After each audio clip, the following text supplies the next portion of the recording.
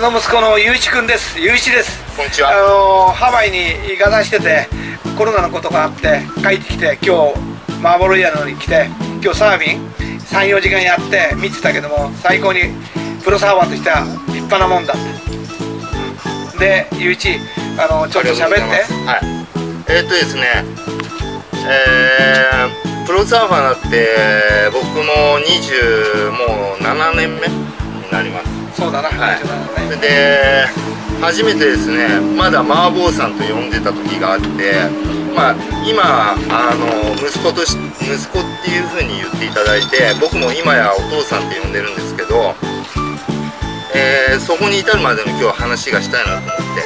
えー、と今日は YouTube 出させていただいてます。で、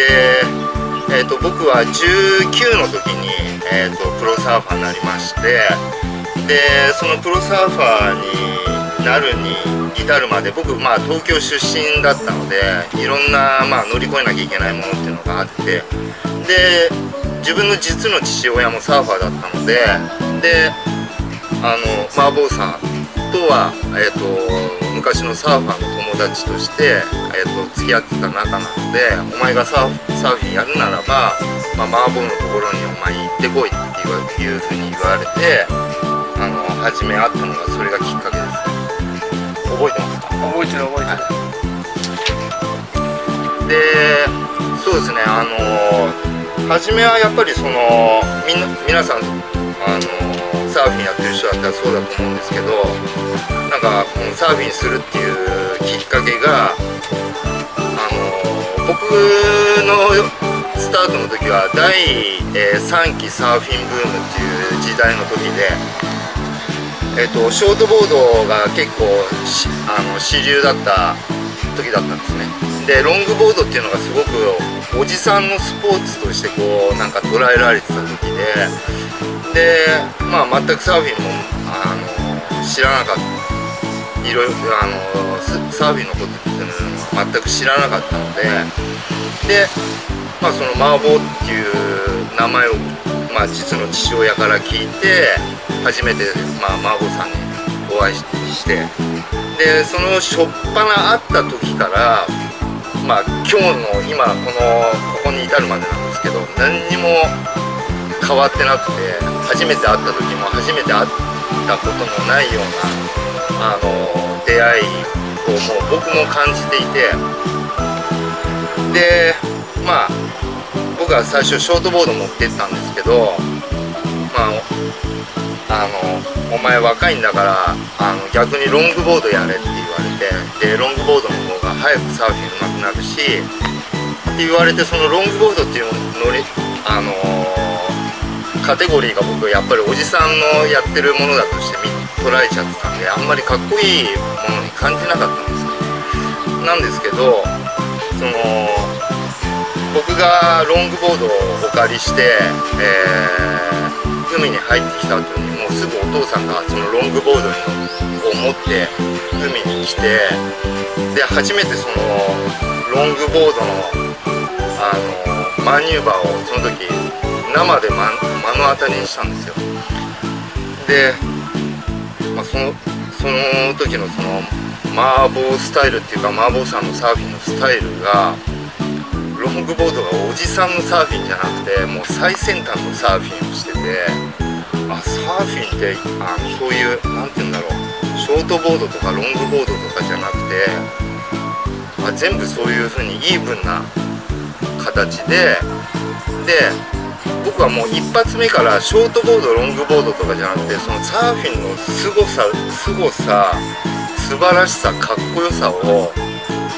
その麻婆小室麻婆さんっていうプロサーファーからあのサーフィン教えられてでもうその出会った日その初めてサーフィンを見た瞬間からこの人に一生ついていこうっていうふうに僕はももう運命を感じてしまってそれから今に至るっていう感じですね。はい。はいはい。それでえーっとですね。まあはあのやっぱり海に入っているといろんなプロサーファーとの出会いとかもやっぱり出てきたりするんですけどもさっきもお話ししたみたいにその自分のねあのソウルダットであるマーボーさんっていう人しか僕はもうフューチャーしなくなっちゃったのでいろんなプロサーファーのサーフィンもまあ見てはいましたけど信じるべきところは絶対的にマーボーさんのところに全てがあってでまあ昔からの口癖なんですけどあの死ぬ気でサーフィンやれって当時もやっぱり言ってて好きなら死ぬ気で何でもやれって言われてで雄一はあの俺がお前お前は預かるからあのプロ目指せっていう風に言ってくれて。で僕はそうだな。まだ全然何もサーフィンできてない時にうんサーフィン3回目ぐらいの時にもうその自分はもうこの人についてってプロサーファーになろうと思って。で皆さんもお分かりの通りそのプロサーファーって簡単になれるものじゃないっていうのがまあその見てれば分かりますよね。ものすごい上手いサーファーを見てると自分があそこまで行けるのかっていうのがそのまだ3回目10回目の時っていうのはまだ全然波にも乗れないしそこにどういつ行けるのかっていうのが全然まだ未知の世界で。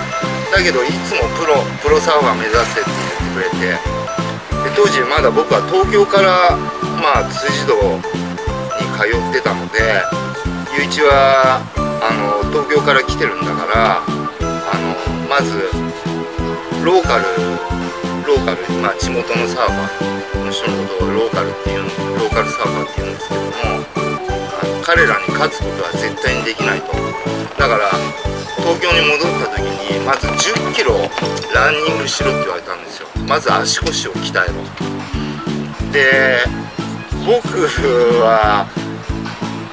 割と自分で言うのもおかしいですけど本当に一度そういうハマったものだとかあと信じた人に対しては本気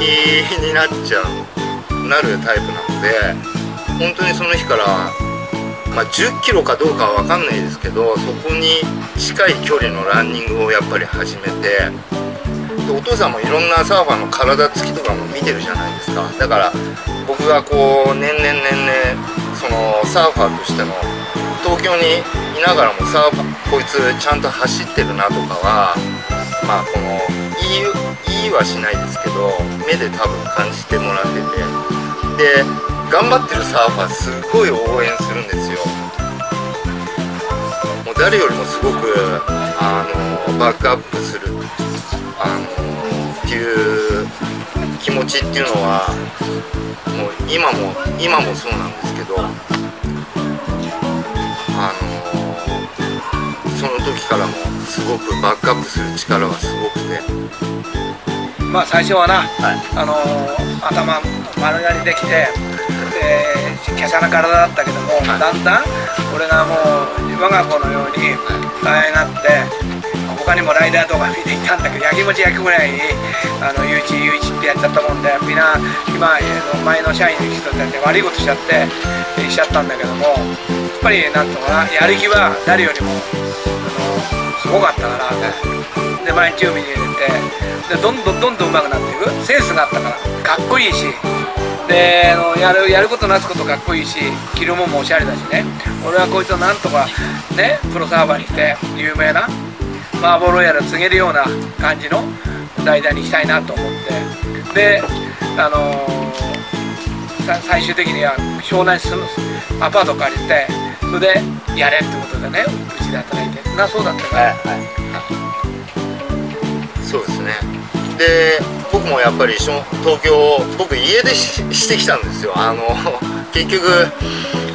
まあ親もサーファーはサーファーなんですけど別にそのプロではないのでそのどちらかというとそのプロサーファーになるっていうことも信じがたいものになってたし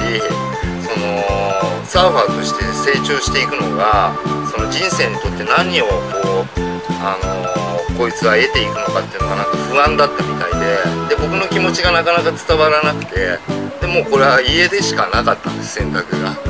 でまあ家出をしてで、まあ、当時あのお父さんの、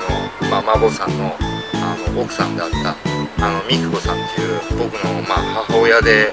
もあるんですけどもあの美子さんにこっちに住むって話をした時にやっぱり僕の両親のことを心配してくれていやこっちあの家出なんかしてきたあなたを受け入れることけ入れることはできないっていうふうにあの真面目な方だったのであのその時断られたんですけどすぐに麻婆さんが出てきて「お前何言ってんだ」ってこいつこれだけ家出してきて腹決めてきたんだからお前が何言っても俺が預かるって言ってくれてでその言葉で僕もよろしくお願いしますってことでこっちに住むことになりました。ねそれで環境を麻婆さんが作ってくれて。でそうですね。僕がそのプロになるためにやっぱりそういうふうに家出をしてまあそれくらいのことをしないと本当にプロサーファーになれないっていうのがあったし。当時ならなかった。はうまいやつがいっぱいいるわけでしょ？でうまいやつが2時間やるゆういちは3倍やんなくちゃ6時間。じゃなくて追っつかないから、はい。だからそれで頑張る死ぬ気になってしょっちゅう言ってたなはい死ぬ気になってやれはいやれだからそうですね。あのーその経験がまあ今でももちろん生かされていてやっぱ何でもそういうプロフェッショナルになるっていうことだったり何でもこう人に負けないものを得るっていうことって簡単じゃないじゃないですか。なんか一度命をかけなきゃまあ命をかけるって簡単に言っちゃいけない言葉なんだけどでもそれに近いあのエネルギーをそこに対して注がないとあのプロサーファーにはなれないっていうふうに僕は感じていたので教えられてたんで。で、まあ、こっち住むようになってそうですね。だからその当時あの今もう亡くなられちゃったんですけど当時の奥様その美子さんが一度反対したんですけどまあ俺がもう息子として預かるって言ってくれた言葉が僕が今お父さんお父さんっていうふうに呼んでるんですけどその瞬間から僕はこの人が第二の父親だっていうふうにあの心から思うようになってそれからお父さんっていうふうに僕は呼ぶようになりましたしそこに対して僕の気持ちが伝わったのと僕がお父さんあお父さんが僕に対して本気でプロサーファーにお前をしてやるっていう気持ちを持ってくれててそこに対して僕が気持ちを返せたからお父さんも俺のことを息子だっていう風にあの言ってくれるようになったっていうのがまあ今みんな結構不思議があるんですけどでも今は本当にその時から自信を持って僕のお父さんでって俺の息子でっていうような関係に、はい、なりまあました。あのあのその通りであの雄一と俺とはもう切っても切れないしそれに雄一と俺との心のなんていうのかなつながりっていうのが、まあ、死んだ奥さんのこともあってでいろいろハワイ行ったり高松の高原に行ったりいろんなねエピソードがあって高松この間高松行った時には家の1時間乗るチンチン電車みたいのでいろんなこと雄一のな若いこととか奥さんのこととかいろんなことをあの話し合って。あのすごくなんていうのかな親子以上にすごいやっぱりそのなんていうのかな愛情を持って。で彼はやっぱり性格がいいから優しい子子だから俺もやっぱりその優しさをね覚えさせてこれに教わったよね。すごい。やっぱり人間優しさ愛がなくちゃいけないと思うんだよな。いや本当ですね、はい、思いやりね。はいはい。だからだいぶ俺もこのとこね思いやりとかついてきて教えられた。やっぱりあの可愛いからこそ可愛がってるだけでしょ、はいはい。で今日もサーフィン見ててすごくバリューはあのもう良かったし会社もねランダースカットバックも。まあそんなようなこと見てて真剣に見れる真剣に。やっぱりそういうことを今日1時間ぐらい見てて感じたしね。そうですね。それでもうありがたいですよ。あの皆さんあの今結局最終的に僕は今お父さんとかあの普通にもうほとんど今こんなね割と硬い話っていうか真面目な話ばっかりしちゃってますけど普段はもうバカ話ばっかりだし本当に親子な会話をばかりしてるねあのそんなあのそんな関係なんですけどあの要するにあのこの今僕はねあのお父さんとしてこう麻婆さんを呼んでますけどこの麻婆さんっていう人にた人っていうのはあの僕はすごく近い距離にさせていただいてでまあこの近い距離にさせていただいただいてるっていうか近くにいられるのももちろんこういういろんな絆があったりだとかがあるからこそこうやって近くにいられるんですけど本当だったらねこんな近くにあの一緒にこうやって話したりだとかなかなかできないぐらいそのサーフィンの本当にもう神様あのかもう本当サーフィンの神様って言ってもいいぐらいあのものすごい人なんですよ。あの本当に野球で言えばベーブ・ルースだしサーフィンで言えば、まあ、デュークか花木に当たるし、まあ、バスケットで言えばマイケル・ジョーダンなのかもっとすごい人なのかわからないけどもうサーフィンの中ではそういう神様と呼ばれてた人たちっていうのは、まあ、皆さん他のスポーツで分かってるようにいろいろいる神様って言われてる人はいるけど、まあ、サーフィンの業界の中では、まあ、本当にサーフィンの神様なのであすいません。あのでその神様であるこの、ね、お父さんが今結構僕が、ね、外から見てて割と今の子たちがこう僕たいにハングリーにいろんなことをお父さんに教わりに来ないんですよ。こんなすごい人が近くにいて生きててくれててサーフィンのみんなの父でお手本で神様もう神様みたいな存在なのにみんな麻婆さんお父さん麻婆さんにみんな何も質問してこない。あの俺すごいもったいないことだと思っちゃって死んで伝説になって死んでからその人を知ったんじゃ遅いんですよ。生きてる時にそこを利用するっていう仕方あの言い方はすごく間違ってるかもしれないけど本当にはさっきの話じゃないけど誰よりも愛があって誰よりもサーフィンが好きで本当ですよ。誰よりもサーフィンが好きでだって皆さんハワイに行ったらハワイってサーフィンのメッカじゃないですか。みんなもうノースショアとかマカハビーチとかワイキキとか聞いたことあるかもしれないんですけどお父さん行くだけでそのサーフィンのもう何て言うんですかもうスーパースタジアムであるそのハワイっていうところでそのローカルたちがみんな頭下げるんですよ。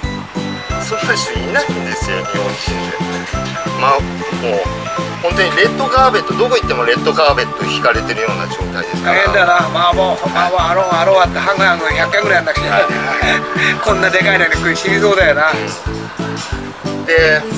そんな人なんですよでそれ僕が今これを話しててこれを聞いてもし聞いてくれて本気で聞いてくれてるんならばこれでも普通のサーファーが麻婆さんのところに訪ねてサーフィンのルーツだったりサーフィンの素晴らしさだったりサーフィンから生まれる愛愛だったりを質問しに来なかったらこの見てるサーファーの方々はみんなちょっとここがもったいないっていうかそうそうそれであの要するにサーフィンで、あ、僕もそうだったんですけど一人じゃない一人じゃないです。で自分のためだけだったら自分自分自分だけプロになれればっていう考えだったら僕プロになれてなかったんですよ。でお父さんがプロサーファーにお前をさせたいお前をさせてやるっていう僕に愛をそういう風に注いでくれてたんで僕は自分がプロサーファーになるっていうことプラスお父さんのために絶対プロサーファーにななってやるっていうのがでっていうのが僕はありました。で皆さんもそうだと思うんですけど自分の力っていうのはこのコップ1杯でここで限られちゃうと思うんですけどここにはこれこれだけの制限しかないんだけど人そこに誰かのために頑張るっていうことがプラスされれば絶対ここまでの一人の力で頑張ってるやつより絶対勝っちゃうんですよ。人のために頑張れば。なのでそういう自分の自分がまあプロじゃなくてもいいんですけどサーフィンですごく上手くなってやる。まあこれはサーフィンのチャンネルなんで今日はサーフィンのに対してあのお話ししちゃいますけど自分がプロでも人よりもまあ上手くなってやるそこにサーフィンを極めてやるという気持ちがあるならばその気持ちはもちろん大切にすることとこれは僕がプロになったから言えることなんですけどお父さんみたいに僕は僕の場合はお父さんでした。あのそれが彼女でも奥さんでも自分の息子でも分かんないです。自分の先生でも誰でもいいんですけどそういう自分に愛を本当に愛を注いでくれた人のためにそこの目標に向かっていくんだっていうあのそれが僕はサーフィンであり全てのスポーツにの頂点に立った人たちのあの要するにリンクすることだと思ってるのでサーフィンは1人じゃなくなるべくそういう仲間を作ることだったり応援してくれる人あと自分の自分に愛を注いでくれる人そのためにはそれだけの愛をくれるだけの自分は努力をその人のためにすること。そういうことであのいろいろプロフェッショナルだったりそういう目標に向かってでこれからのサーファーも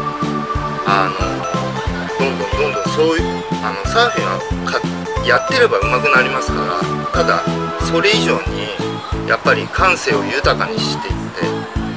て希望を与えることだな、みんな若い連中に、ああ、ね、ゆうじ君かっこいいな、マーモトかっこいいな、年取ってもやって、やっぱり相手にやっぱり希望を与えるってことが大事だよな、はい、プロサーバーとしてな、はい、でそうですね。もうお父さんの言う通り全部あのこのチャンネルをとにかくこの先もずっと続いていくのでそのお父さんっていうのはもう本当にサーフィンの神様レジェンドなんでお父さんの話をよく聞いてればそれだけでももう3歩も4歩も5歩も5歩も10歩も先のサーフィンが上手くなっていくのでこの YouTube はもう必ず見てた方がいいと思います。で YouTube チャンネルだけじゃなくあの本人に会いに来てください。本当にあの温かく温かくみんなを迎えてくれるのですごく心が広く偉大な人なので元気なうちに皆さんあのマーボさんに会いに来てください。あの今日はありがとうございました。おありがとうね。ね。ありがとう一生尊敬してます。皆さんも尊敬しましょう。よろしくお願いします。じゃあまた。また